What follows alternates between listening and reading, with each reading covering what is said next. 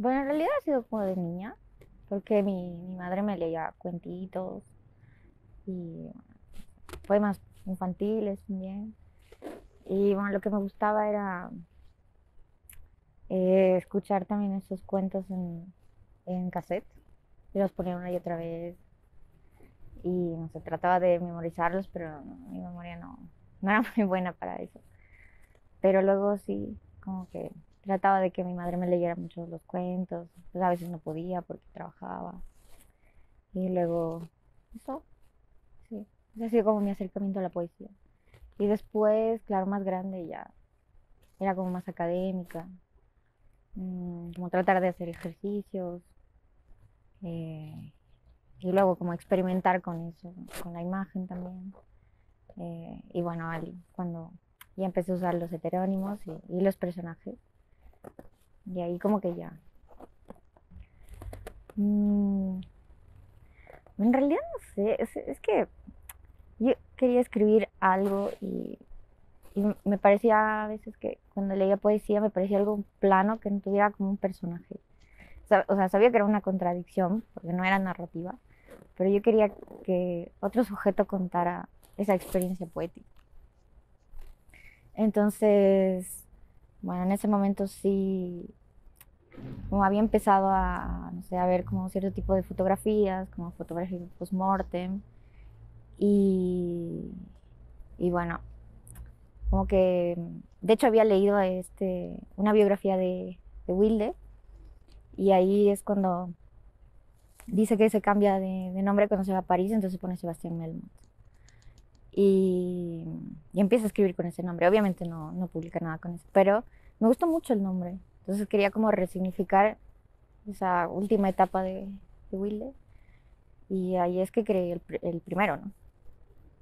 Y después los otros ya muchos años después. Em, bueno, es que estuve con, con el de Melmoth varios años, muchos diría. Tanto así que em, igual había un tiempo en que dejé de escribir porque bueno, no podía escribir. Y, mm, y bueno, quería, quería matarlo. Bueno, es que siempre lo quiero matar a él, no sé por qué. Y, y bueno, entonces como decidí hacer otro para que reemplazara a ese personaje, o sea, al primero.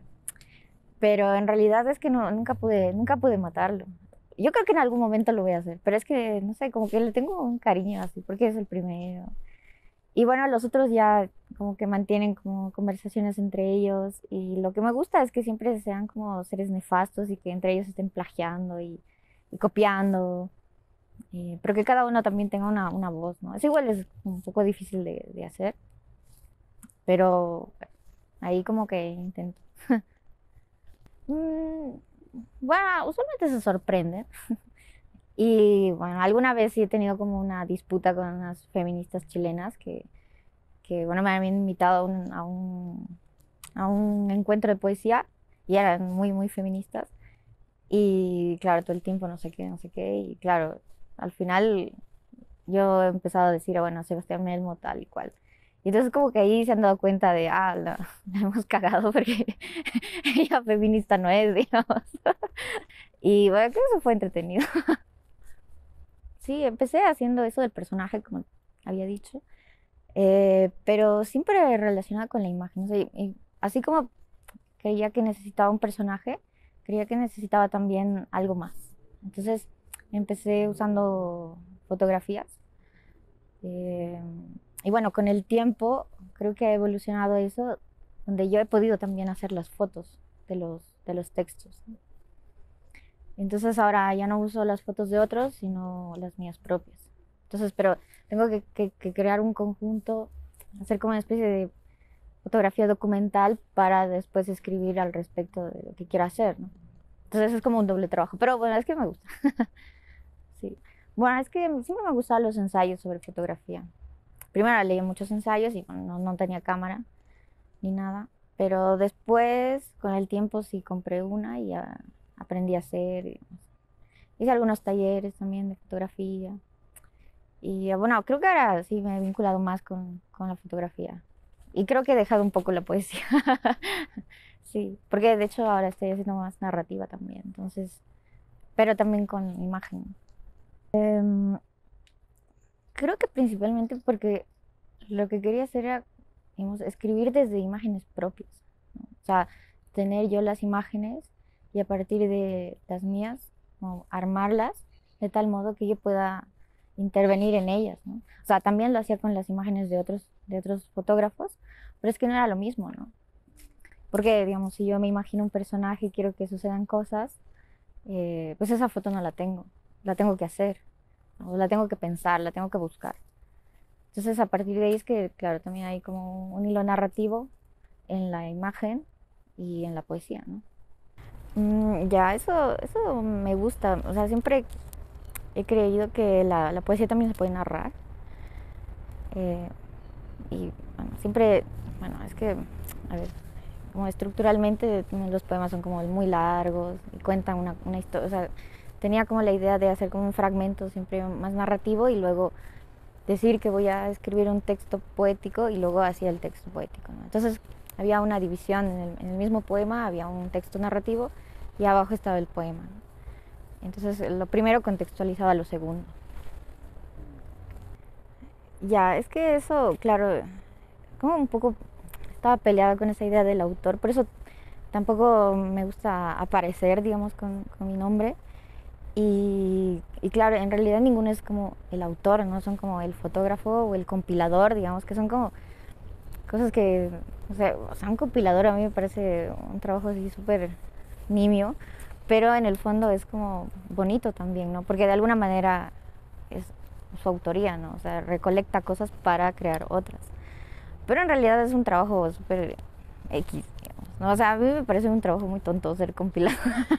Pero me gusta, esa, o sea, la idea de que sea tan malo es lo que me atrae, digamos.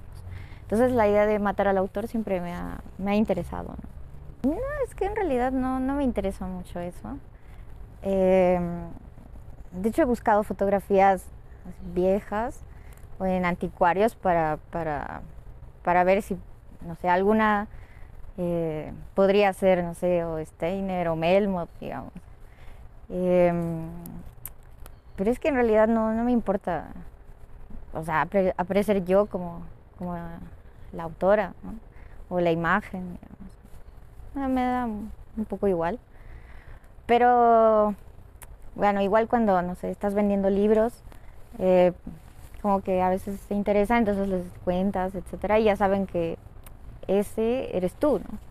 Entonces, igual de alguna manera hay un conocimiento. Pero siempre suelo poner como iris y entre paréntesis siempre pongo todos los, los heterónimos, ¿no? A ver, puede ser, es que nunca lo he pensado. O sea, en algún momento mmm, alguien me, me preguntó si, si, podría escribir algo solo con mi nombre. Y bueno, alguna vez hice el ejercicio y en realidad me, me, parecía como un ejercicio vacío, porque sentía que no había algo ahí, o sea, no, no había un contexto. Entonces, la verdad no sabría cómo escribir si tuviera que hacer un texto solo con mi nombre, digamos. O sea, tendría que, que recurrir a otras cosas. Y bueno, bueno, en trabajos académicos o en ensayos sí se puede, ¿no? Pero es que, no sé, no, no pude. En realidad no pude y lo dejé, no, Sí me afectó un poco porque dije, ah, qué extraño que no se pueda hacer. O sea, yo, ¿no? Pero es que no sé. E, eso fue un poco, sí, fue un ejercicio raro. Pero, pero está bueno saber que no, que, que no pude hacer. ya. A ver, primero. Eh, bueno, con unos amigos decidimos armar un colectivo, colectivo editorial. Y la idea era publicar bueno, a, a, uno de ellos, o sea, un libro en conjunto, ¿no? Eh, como de un lado era el mío, le dabas la vuelta y era el, el, de la otra persona. Pero claro, ahí aprendí porque, bueno, la imprenta nos estafó y, bueno, tampoco estoy muy orgullosa de ese primer libro. Y bueno, con el tiempo he, aprendido a, no sé, pues, eh, a editar y a hacer los mismos libros. Eh, porque ahora, claro, los, eh, hago como silografía con las tapas, eh, bueno, los, los edito, los, los diagramo, bueno, los vendo también. Y, y bueno, sí, o sea, Sí, creo que ha pasado bastante tiempo eh, desde que he empezado a hacer lo primero y que no tenía nada de experiencia, pero ahora creo que ya sé más cosas. O sea, nunca tendría un sello gigante porque creo que no es lo, que me interesa, pero sí me gusta la, idea de, de, promover, digamos, la poesía como la edición independiente. Eso me interesa mucho. Siempre me ha gustado. Como conocer otros proyectos también, eh, saber cómo, cómo se mueven, cómo vemos los libros, cómo escogen a los autores. Eh, sí, eso.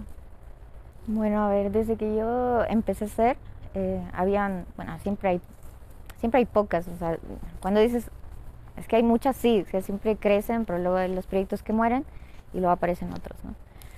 Mm, pero, pero claro, cuando yo empecé, tampoco es que había muchos así de donde o sea, en La Paz no había como una tradición, digamos, de la editorial independiente, ¿no? O sea, si bien habían algunas y aprendías cosas de esas, pero no era como un campo así de, ah, vamos a ver los libros de esta editorial para a ver cómo trabajan.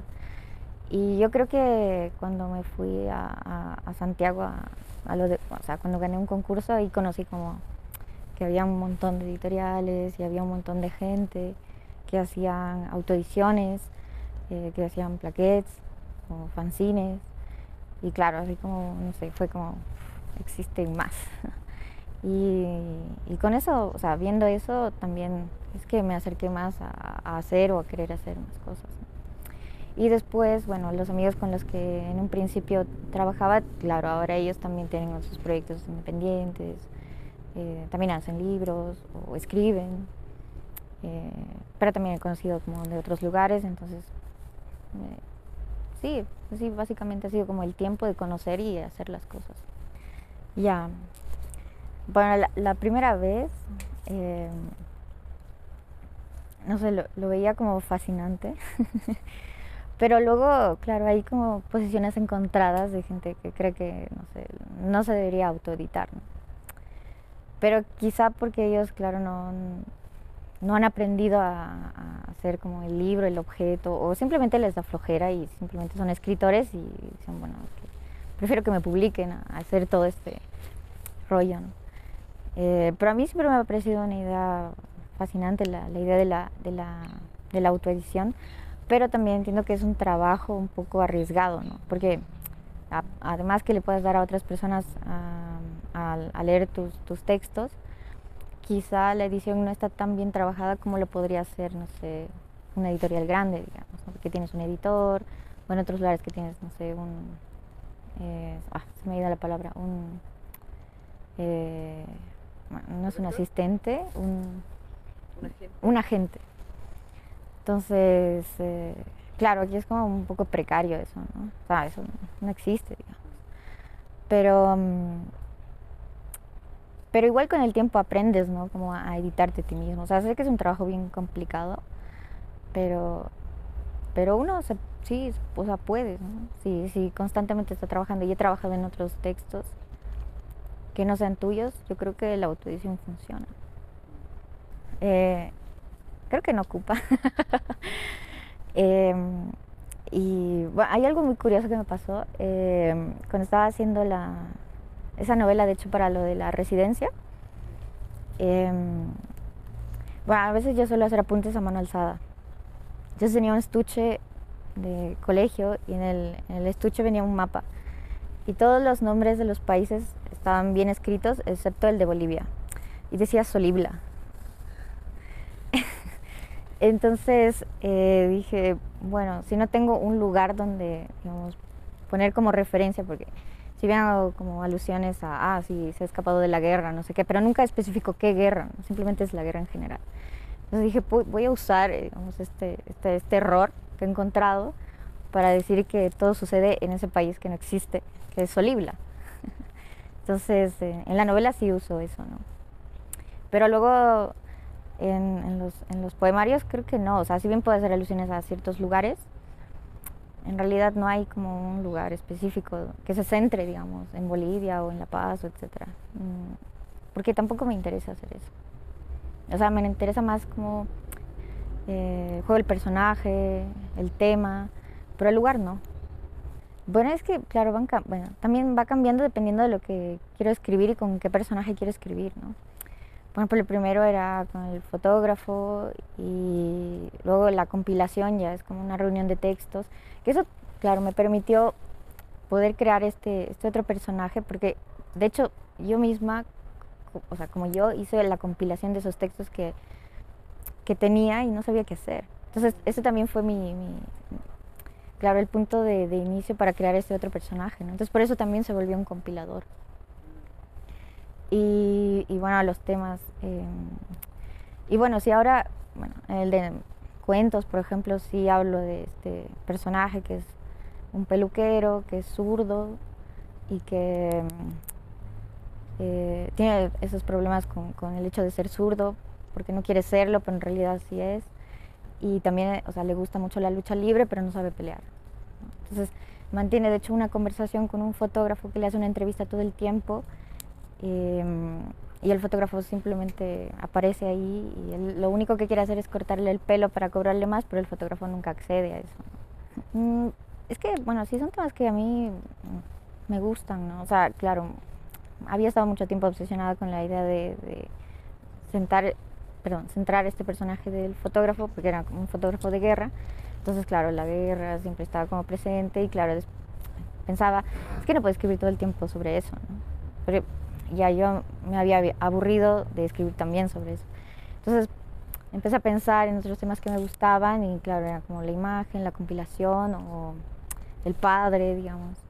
Entonces, em, bueno, y en la novela esta que estaba haciendo, eh, me gusta porque también es un juego con la imagen, pero bueno, es que se llama Breve Historia del Error Fotográfico.